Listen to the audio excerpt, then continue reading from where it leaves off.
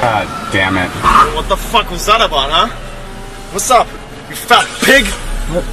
what you don't see where you're fucking going? I wasn't even driving. Shut the fuck up, you fucking piece of bacon!